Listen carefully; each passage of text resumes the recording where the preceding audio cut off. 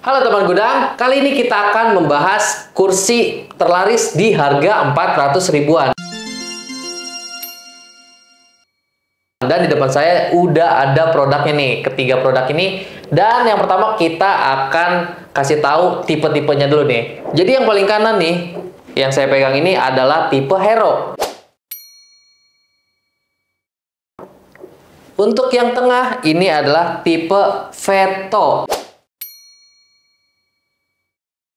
Dan yang paling kiri yang di sebelah sini ini adalah kursi Alter A.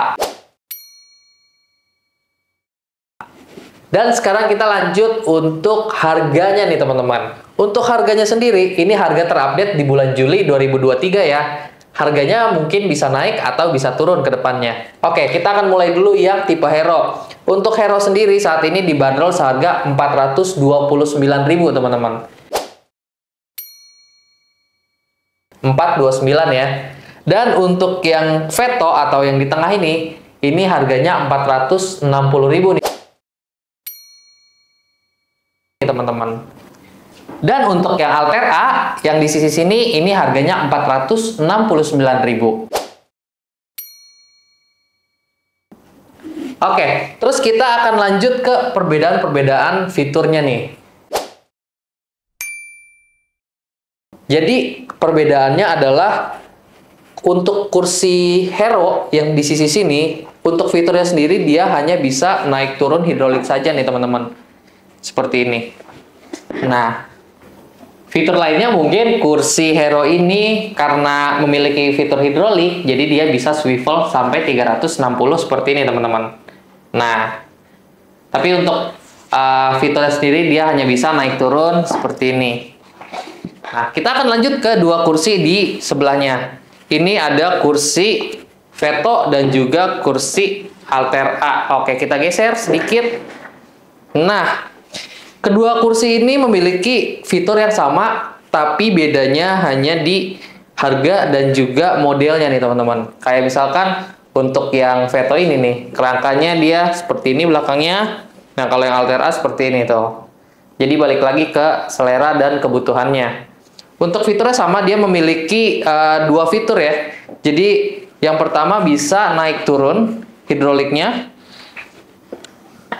Dan sama tuasnya ada di sisi kanan kursi. Terus fitur yang kedua, dia bisa mengayun atau rocking sampai 120 derajat teman-teman. Jadi tinggal ditarik aja keluar. Nah, kursi Veto dan Alter A ini bisa mengayun. Dan bisa dikunci juga teman-teman. Nah, kita cobain juga yang Alter A. Tadi sama fiturnya yaitu naik turun hidrolik seperti ini. Dan bisa mengayun.